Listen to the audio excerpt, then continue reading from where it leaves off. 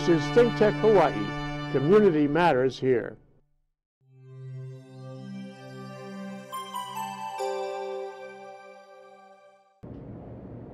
Aloha 'auinalā. Welcome to Hawaii is my mainland. I'm host Kaui Lucas, here every other Friday on thinktechhawaii.com. For the last 10 years, I've had the honor of serving on the board of Maunalua Fish Pond Heritage Center. Loko I'a is the traditional name for native Hawaiian fish pond systems. My guests today are Loko I'a experts and fellow Maunalua Fish Pond Heritage Center board members.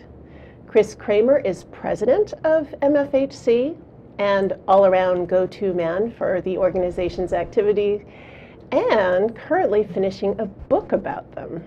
Brenda Asuncion is the statewide Loko I'a coordinator for Kua'aina Ulu 'Auamo, or KUA. Welcome, you guys. Aloha, Kaui. Uh, it's kind of different to be meeting downtown instead of what our background looks like, which is around the ponds. So um, just a little um, introduction. Um, Brenda, maybe start with you. Was uh, what is statewide loko i'a coordinator? Yeah, yeah. So um, this network called Hui Malama Loko I'a has been meeting since 2004. And then my nonprofit, KUA, which you mentioned earlier, um, we started facilitating that network in 2013. So there's about 40 ponds represented in that network, and basically they just get together to learn from each other and share what they're doing. And Chris? Um, well, Maunalua Fish Pond Heritage Center is a community-based nonprofit, and um, it's really just for and by the community. So we, we have community work days at the fish pond, and um, it's really kind of reconnecting our community to our food sources over there. Mm. Well, I have seen you do everything from testify um, at um, DLNR meetings and the legislature to um, catching little fish. So you, we kind of do it all. That's the beautiful thing about grassroots. But to give kind of um, an overall idea of the, the activities, let's watch that beautiful video that you're, um, that Kua made, or was it Kua that made Mhm, it? mhm, Okay. Yeah.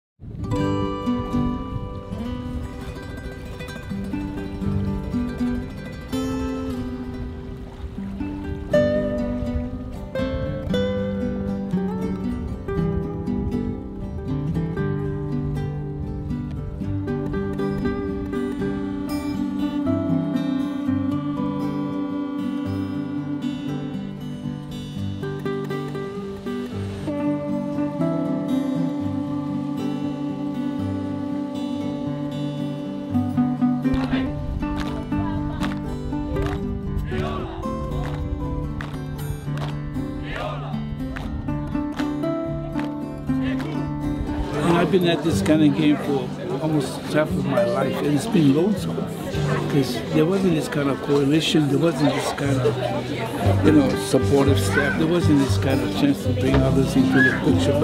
But now that it's happening, it's, it's very inspiring.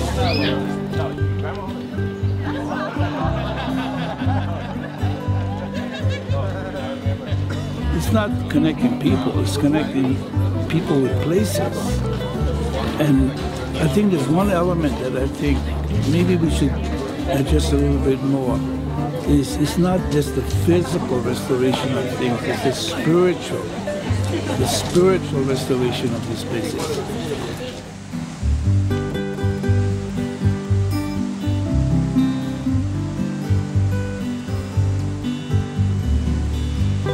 hope is organic.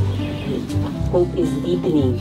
And with this hope that we have for our next generations, we can get along and be there when our Mo'opuna and the ones after us come. And, and now that I, I meet all of you guys and, and, and hear the stories and what you guys are doing and, and what we can do, I'm going to bring that Mana'o back and share with the Ohana so we can get our job done too. I'm very encouraged, a lot of hope for the future that this, this is really going to move forward and our culture is going to come back. all of our Ipana, all of our Mo'olelo, all of our cultural values is indeed in very good hands. And I hope I leave with you also a continued spirit of Holomua Liki Ko. All Imua together.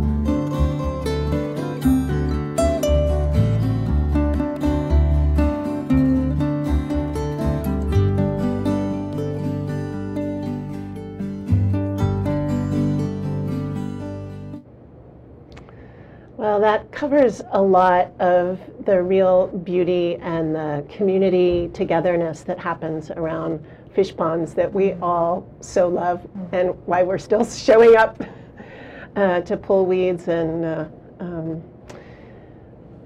dig uh, invasives out of out of our areas. But um, we have a, a map from KUA, thanks to you, Brenda. Um, that can you talk about kind of how it, it happened that, that these um, these sites are now being um, having community stewardship and kind of how that works. I mean, it's different for each one, but can you kind of give the Yeah, yeah. Um, so actually, fish ponds are interesting, especially the ones that are still physically existing today. There's a variety of groups and organizations, and even just informal families and communities that take care of these places.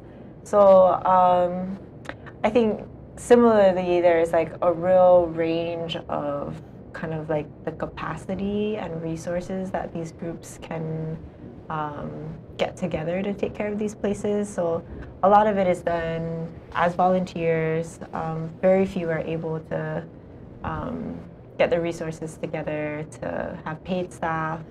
Um, but I think everyone is just kind of working at the capacity that they can, and in that way, the hui is really important for them to be able to support each other.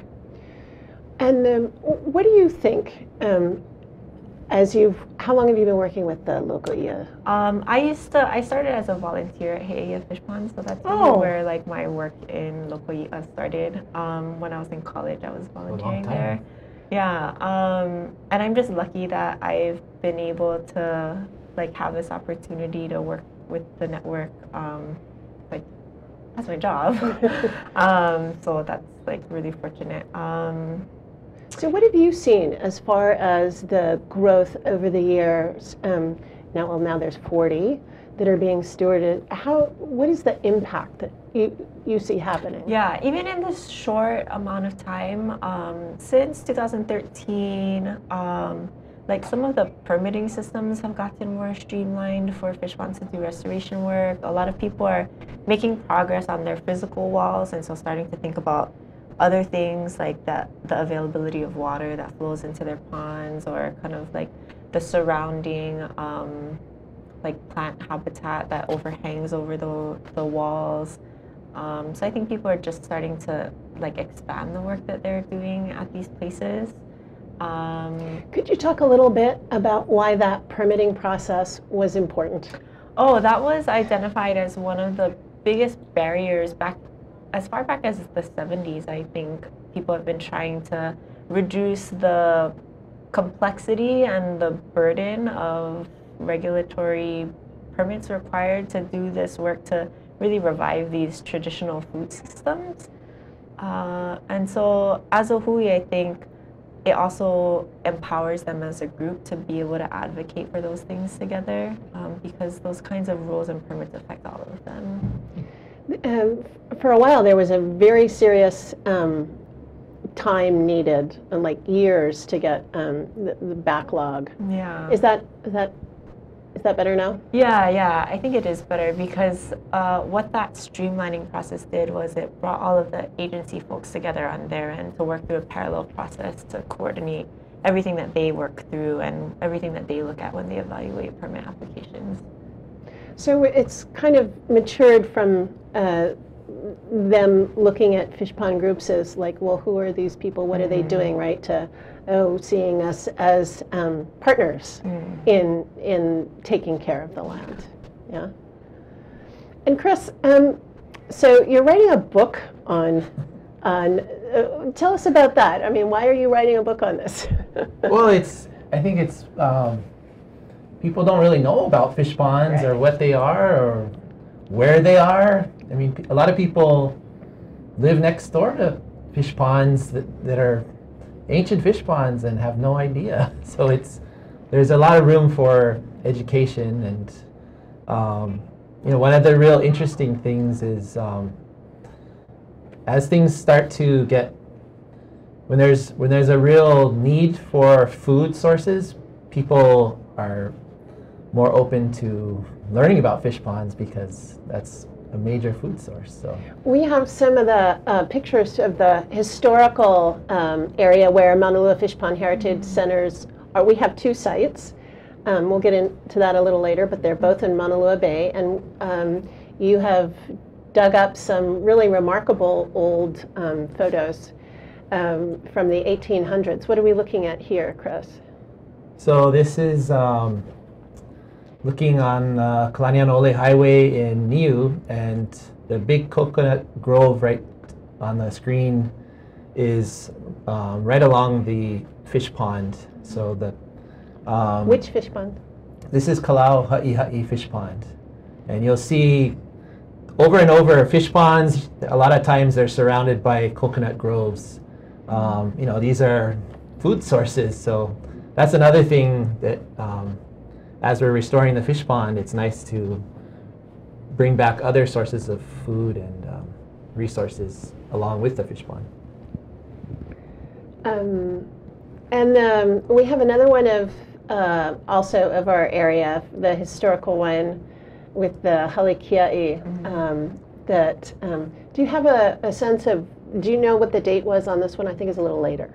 I think this is 1930s, and um, you can see the great gates where the makaha, where they lift up the gates, and the fish from way outside in the ocean smell that fresh water, and they head to that fresh water. And this is something that happened year after year after year. The mullet swim around the island and on their migration and put in at each fish pond because of the fresh water that is inside those fish ponds. And then what happened to those fish? Um, all their grounds were blown up and destroyed. So if you ruin the grounds, you're gonna affect the um, what, what the fish. There's no nothing for them to eat, and so um, they depend on that fresh water and the limu from that fresh water. So the in that uh, shot we just saw, that the ridge that we could see in the distance, that was the ridge between Niu and Kuli'ou'ou? Or- Yes. Yes, Uh-huh. yeah. So right where our um, two sites are, basically. And that was pretty, pretty far out in, into the water. So the, do we have any sense of, or I- also, we have the, the um, largest fish pond in our area. You want to tell us a little bit about that? Sure. So um, that was a, something that kind of got my interest at first was um, when I learned that right in our neighborhood we had the largest fish pond in Hawaii, and we didn't even know it, and neither did, you know, Kupuna knew it, but a lot of younger generations did not. So interviewing the last surviving fish pond keepers and learning from them and, and in, in turn trying to share what they have shared with our community and other communities. Um, We're, we're going to take a, experience. a, a one minute break, and then maybe when we come back, you can share a story from, from one of those old timers. Okay, sure. Yeah,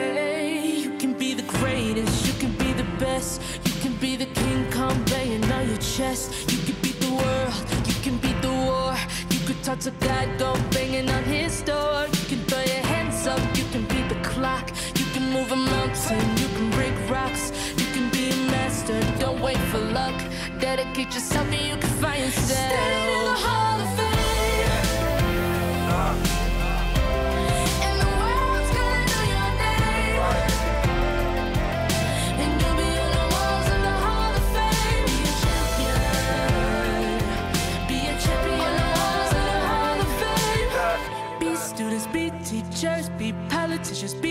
Preachers. Yeah, yeah. Be believers, be leaders, be astronauts, be champions. Standing in the Hall of Fame. The hui.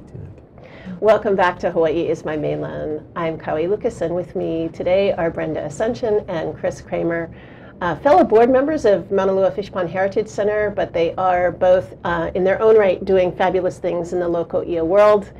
Um, Chris is writing a book, and it's Brenda's a professional uh, fish pond keeper.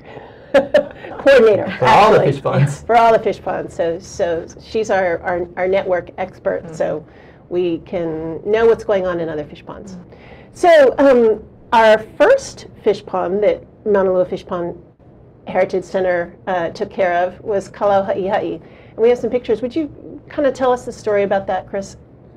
So this is um, a small fish pond at Niu, and this is where the kapu system was broken on Oahu. And if you go to this fish pond, you can actually see out in the reef. There's a big break in the reef, and that's mirroring the name of the fish pond. Um, and this is a real ancient site that um, had been damaged in the mid 1990s when they were widening the highway. But um, this was last stewarded by Mr. Hara and very special man, and we learned a lot from him and someone we try to share his stories that um, with the community and, and uh, kids that come down. So we have a, a, picture of the. There were two houses there. We saw the one that was makai side, but there was. We have a picture of the inside of the Mr. Hara's house, which has a glassed floor, and um, it's sort of a lot of people have heard of this place or seen it. It's kind of weird when you just talk about it. Everybody, oh, I know somebody. Um, this is now no longer there, right? Gone. Yeah. yes, because as you can see, the um, the condition was horrible, and we really um, are looking forward to being able to use the site now that it isn't uh, a, a demo a demo site. And um, we have one more picture of Kalauha'iha'i that shows what it's like now. Um, and um, what I don't know about this particular group, but can you share a little, Chris, about what what kinds of things that groups do when they come? Sure. Uh, well, yesterday we had Halau Ku Mana, and they were digging the awai and maintaining the awai that hadn't been maintained in a long, long time.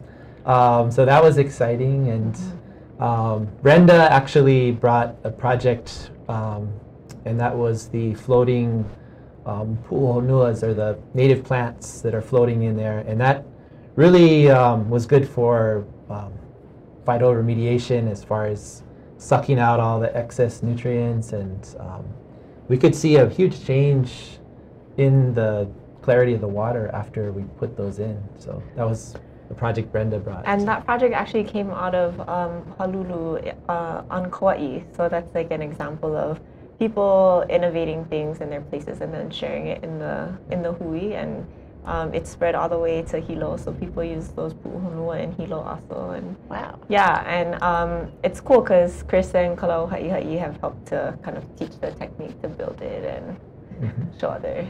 I have to say that's one of the, my favorite things about this as a learning resource is that um, the kids get to do real science Sure. uh, in in where it matters, where it's like, yeah, we need this data, whether it's water quality or um, species counts and um, other other kinds of things, right? Um, Yeah, all kinds of we we took what we learned from that project and we took it to Kanewai Spring and we didn't have the hoops so we used old boogie boards from the side of the road and the native plants grew and two two days ago we had a, 'alae 'ula which is a very endangered um, water bird show up you know looking from way up in the sky and saw this habitat so um, things like that you know, even in a small area, the restoration can happen pretty quickly once the conditions are changed. So you mentioned Kanewai Spring. Can you talk about that? We have a few pictures of that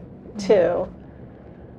Well, this is um, one of the early um, restoration days, and um, that's Alika Winters and myself, and we had um, some different folks from the community.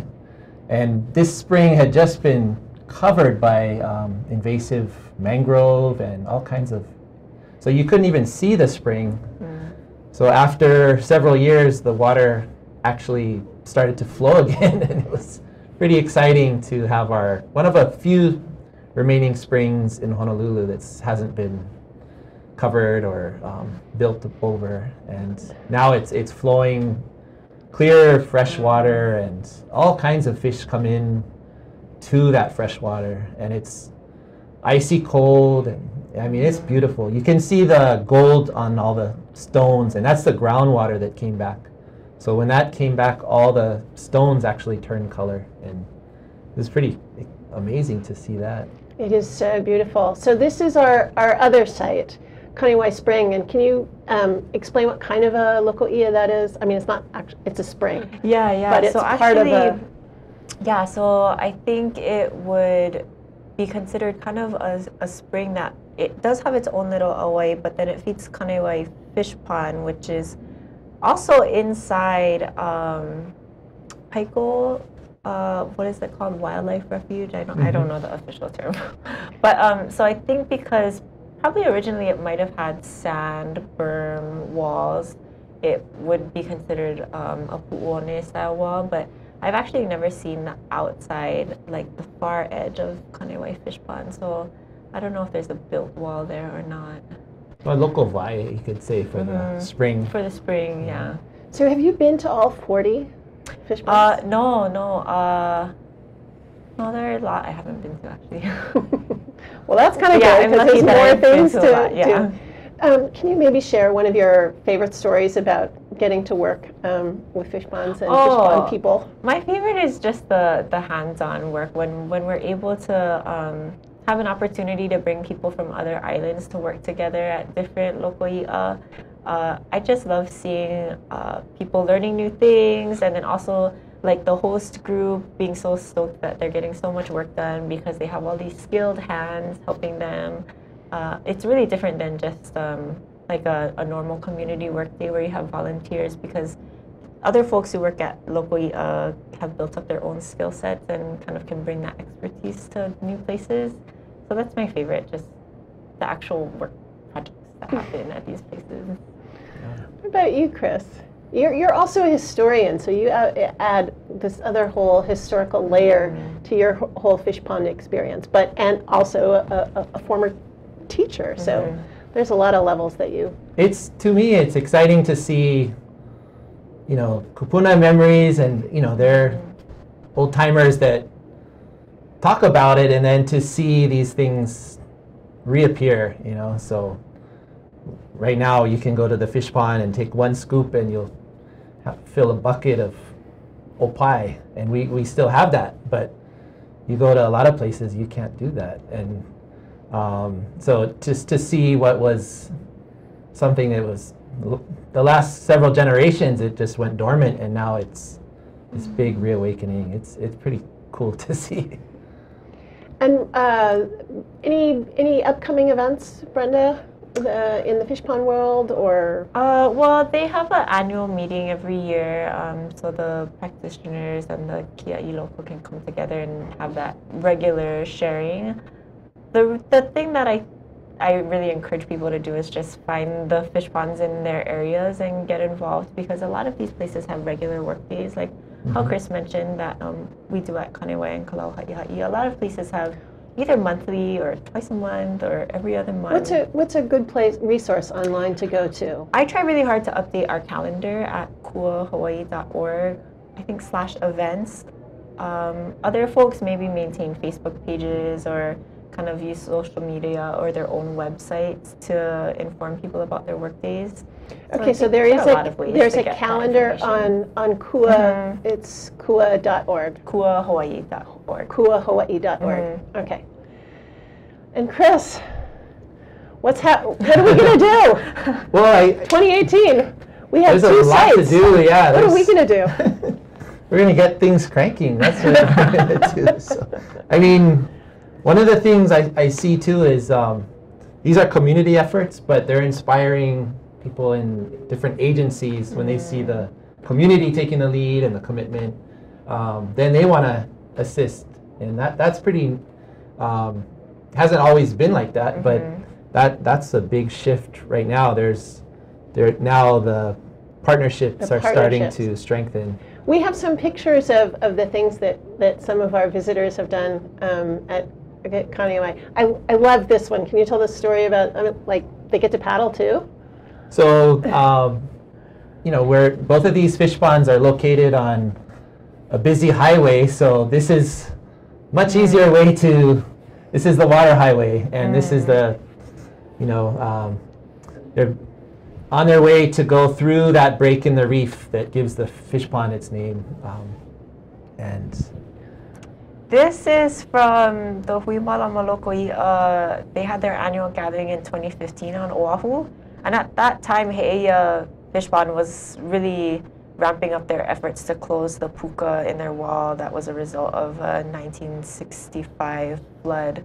Um, so you can see here that the damage from that flood created a really deep deep gouge in the benthic habitat and it was taller taller than me and this guy Keli'i is tall too but you can see that they had to do like really extreme work to rebuild the wall in that section. So that's like a a testament to the skill and and ability of these people that take care of these places And where is this? This is sort of more the typical, not the last shot. There isn't a lot of that, but this is sort of Yeah, the, yeah. This is also in 2015 at Huilua in Kahana. Um, I love this photo because it just exemplifies the the kind of group mentality that is required when you take care of these places too. People can't do it by themselves. Um, and even though like in Maunalua we take care of small places, we still need tons of people to help and I like how this photo exemplifies that.